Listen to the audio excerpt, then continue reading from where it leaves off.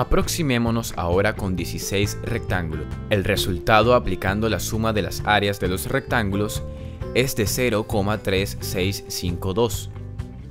Le mostramos los resultados de las aproximaciones anteriores. Responda a la siguiente pregunta. ¿Cuál de las tres aproximaciones vistas hasta ahora es más exacta? Nuevamente dispone de 15 segundos desde este instante.